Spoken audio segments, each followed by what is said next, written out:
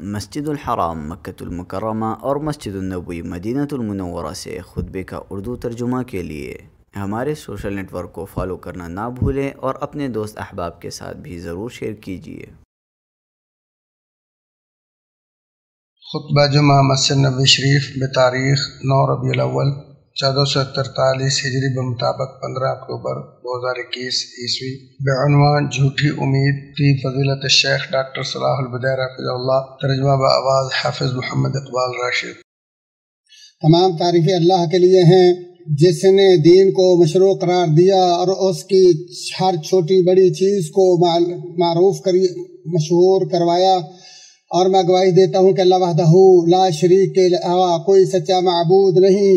जिसने दीन के हलाल को वाजिब और हराम से मना किया, और मैं गवाही देता हूँ कि बिलाशुबा हमारे नबी सरदार मोहम्मद के, हम जो अल्लाह के बंदे और रसूल हैं, अल्लाह ताला आपकी, आप और आपकी तमाम आलो साहब पर ऐसे सलात सलाम नाजल फरमाए जो हमेशा और दर पे पे दर पे बाकी रहें। हमदसना के बाद ईमानदारों, अल्लाह ताला से कमा हक डरो और देखो मरते दम तक मुसलमान ही रहना। ए मुसलमानों, हिदायत और गुमराही को पहचानो, हक व बातल को परखो दुनिया के आर्जी सजो समान और उसकी खूबसूरती में मगन होने से उखरवी ज़िंदगी की तैयारी को फरामोश न करो और अल्लाह ताला के बारे में धोखा, धोखे का शिकार होने वालों की तरह न बनो, जिन्होंने हराम करदा, उमूर को मामूली और हकीर समझते हुए बुराइयाँ की। हराम का इरतकब किया, अल्लाह के अवामर नवाही को ठुकरा दिया, नेकियाँ करना छोड़ दी। अल्लाह की वसत, रहमत और कसरत, नमत से धोखा खाने की बिना पर अल्लाह ताला की माफ़ी से बेजा उम्मीद लगाने और उसकी बख्शिश करम नवाजी पर भरोसा करने से गुनाहों में मुसलसल डूबे रहे। और जब उन्हें गुनाहों पर डांटा और टोका जाए या नसीहत की जाए तो वो बख्शिश और रहमत के दलाल के पीछे पड़ जाते, उन पर भरोसा करते, उन्हें बार बार दोहराते और गिनते रहते हैं। एलानिया बुराइयों के बावजूद बख्शिश की उम्मीद लगाते, तौबा करने से टाल मटोल, वाजो नसीहत से नफरत गुनाहों पर इसरार करते और पहले गुनाहों से तौबा के बजाय वैसे ही गुनाहों को दोहराते रहते हैं। हत्या के उनमें से किसी ने तो यहाँ तक कह दिया, तब तो खूब गुनाह करो जब तुम्हारी पेशी मेहरबान करीम के हुजूर हो। और यही मगरूर धोखा खाने वालों की आदत गुनाहों पर मुसर जिद्दी लोगों का रवैया और अजाब इलाही की धमकी से लापरवाह और लोगों की रवश है, जिनके लिए कज्जा मकार धोखेबाज, शैतान ने बुराइयाँ कमाना, गफलत में डूबना मासीत का इरतकब करना और खास परस्ती करना, सजाया और मुजयन कर रखा है और उनको गुमराइयों में गरक, हर हसरतों में मुबतला और इल्लतों बातल के धोखे में फंसा रखा है और नाकाम और झूठी उम्मीदों का असीर बना रखा है। और इसी तरह के लोगों के बारे में इरशाद बारी ताला है। फिर उनके बाद उनकी जगह कुछ नालायक जानशीन किताब के वारस बने, जो इस हकीर दुनिया का समा लेते और कहते, हमें ज़रूर बख्श दिया जाएगा। और अगर उनके पास इस जैसा और सामान आ जाता तो वो उसे भी ले लेते। इस आयत की तफसीर में मुजाहिद कहते हैं, यानी दुनिया की जो चीज़ भी उनके हाथ लगती, वो उसे काबू कर लेते हैं, खा हलाल हो या आराम और तमन्ना करते हैं बख्शिश की और कहते हैं, हमें ज़रूर बख्श दिया जाएगा।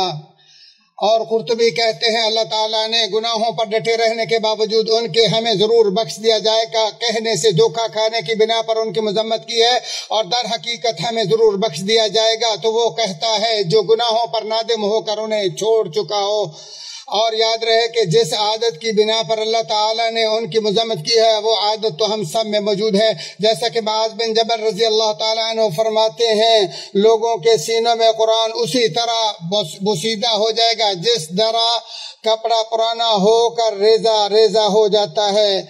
और वो कुरान तो पढ़ेंगे, मगर बगैर किसी लज्जतो चाहत के, उनके लिबास भेड़ के भेड़ की खाल के और दिल भेड़िया के होंगे।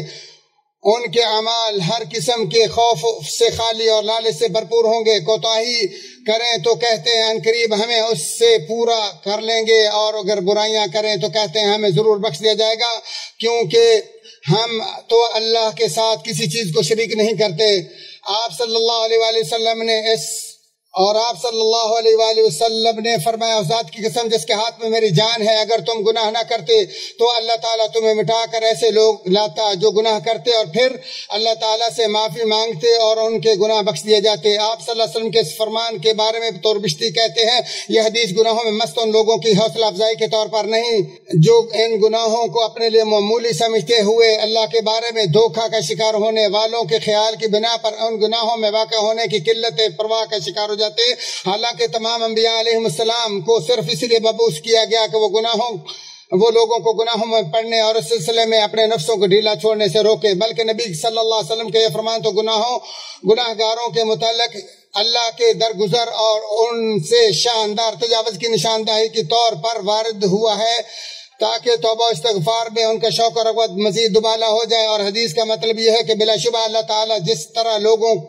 जिस तरह नेकी करने वालों के साथ अच्छा बर्ताव करना चाहता है, उसी तरह बुराई करने वालों से भी तजावज करना पसंद करता है। इबन कई रही फरमाते हैं, उम्मीद की तीन किस्में दो किस्में सलाह के सताइश और एक धोखा एक धोखा खोरी और बुराई है। चुनाचे पहली दो उम्मीदें तो ऐसे दो आदमियों की हैं जिनमें से एक वो है जो अल्लाह ताला के अता करदा बसीरत की रोशनी में उसकी इतात करे और फिर उसके अजर सवाब से पुर उम्मीद रहे और दूसरा वो शख्स जो गुनाह करे और उस पर तोबा करे और अल्लाह की बख्शिश, माफ़ी, एहसान और जुदो करम दर गुजर का उम्मीदवार रहे, जबकि तीसरी किस्म से मुराद ऐसा शख्स है जो कोताही और गुनाहों पर डटा रहे और बगैर किसी अमल के अल्लाह की रहमत का उम्मीद रहे, सो यही धोखा और झूठी तमन्ना और हसन बसरी कहते हैं, कुछ लोग ऐसे भी हैं जिन्हें उम्मीदों ने बहकाए रखा। यहाँ तक कि जब वो दुनिया से निकले तो उनके पास एक नेकी भी न थी और उनमें से एक कहता है, मेरा अपने रब के बारे में अच्छा गुमान है, हालाँकि वो झूठा है, क्योंकि अगर उसका गुमान अच्छा होता तो वो अच्छा अमल करता।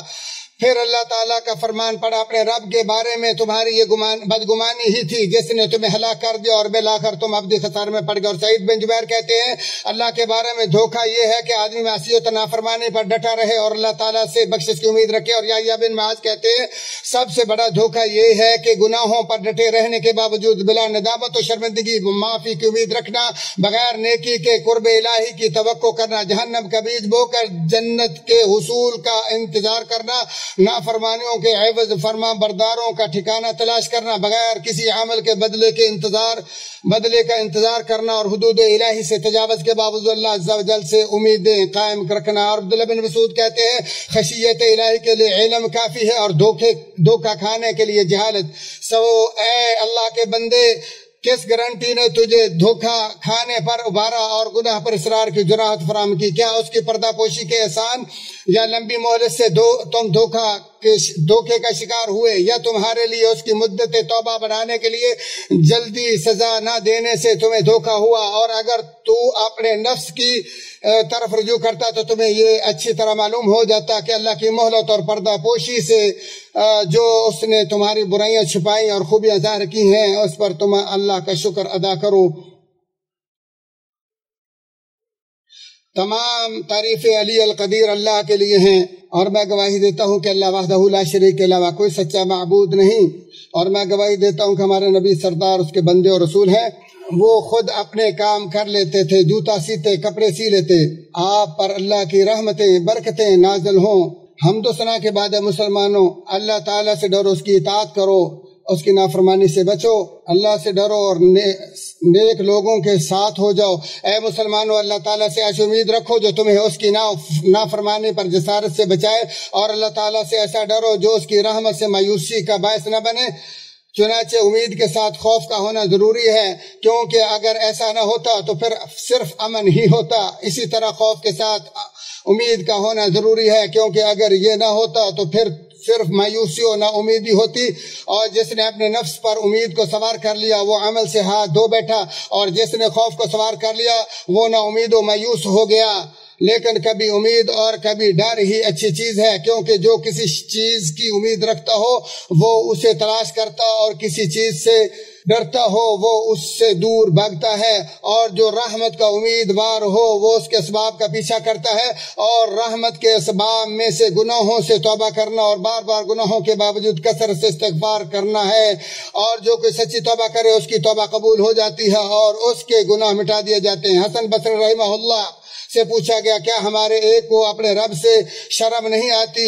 वो उससे अपने गुनाहों की माफ़ी माँगता है, फिर दोबारा गुनाह करता है, फिर माफ़ी माँगता है, फिर गुनाह करता है। तो उन्होंने कहा, यही तो शैतान चाहता है कि इस्तफार के बारे में तुम्हें तुम में शर्म पैदा करने में वो कामयाब हो जाए। लिहाजा तुम तोबा इस्तफार से न उकताना। और उमर बिन अब्दुल अज़ीज़ अपने खिताब में फरमाते हैं ए लोगो, जिससे गुनाह, कोई गुनाह हो जाए, वो अल्लाह ताला से माफ़ी मांगे और तोबा करे। अगर दोबारा हो जाए तो फिर माफ़ी मांगे और अगर फिर गुनाह हो जाए तो फिर माफ़ी मांगे, क्योंकि ये गुनाह लोगों के गलों का तो बन चुके हैं और उस वक़्त पूरी तरह हलाकत बर्बादी हो जाती है। जब इन इन गुनाहों पर इसरार किया जाए, लिहाजा इन गुनाहों के नहूसों से बाहर निकलो। शैतान के जाल से जान छुड़ाओ, धोखे खाने से बचो और सच्चे दिल से तोबा इस्तफार करो। हादियों का, हादियों तमाम कायनात के शाफ अहमद सल्लल्लाहु अलैहि वसल्लम पर दरूद भेजो।